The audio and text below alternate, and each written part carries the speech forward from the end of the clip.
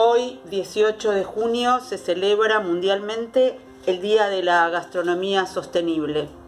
Algo no menor para tener en cuenta, eh, uno de los pilares de la gastronomía sostenible es eh, cuidar el alimento, no tratar de utilizar eh, todo, o sea, tener casi cero desperdicio.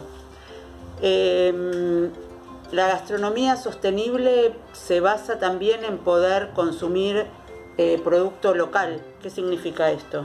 Si vos te vas de vacaciones, por ejemplo, sos de Buenos Aires y te vas de vacaciones a Salta o a Jujuy, al norte argentino, ¿por qué insistís en pedir dulce de leche en, el desayuno?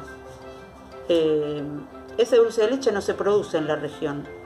Al no producirse en la región, sí, damos trabajo a, otros productores, pero no a los de la región. Entonces, si vas a Salta y a pedí dulce de cayote, eh, dulce de papa, sí, dulce de papa oca, por ejemplo. Y esto ayuda a que eh, esta gastronomía sostenible favorezca el papel fundamental en las comunidades eh, menos favorecidas. ¿De qué forma? Eh, promocionando el cultivo, promocionando el desarrollo agrícola, asegurando la seguridad alimentaria, la nutrición, la conservación de la biodiversidad, porque no todo se puede consumir o se debería consumir en todos los lugares. Eh, estaría bueno empezar a pensar esto de que em, ahora nos acostumbramos a que hay de todo en todos lados todo el tiempo. Bueno, no es tan así.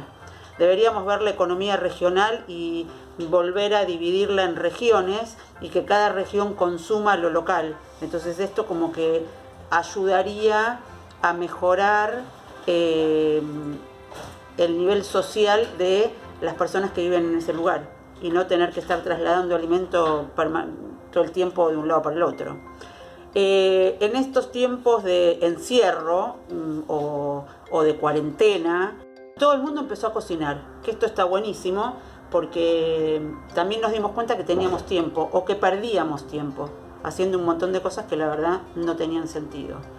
El consejo es eh, evitar la comida elaborada, comer lo más sano posible, con pocas cantidades de grasa, pocas cantidades de sal, eh, hacer una mezcla, comer las verduras de estación, ahora hay brócoli, hay acelga, hay espinaca, hay cebolla, un poco de carne, o sea, no está mal comer carne, pescado, que no comemos nada, los argentinos comemos, si no lo saben, 5 kilos de pescado eh, anual, nada. O sea, un país que tiene casi un mar de, en uno de sus lados de punta a punta y como que ha crecido de espaldas a ese mal.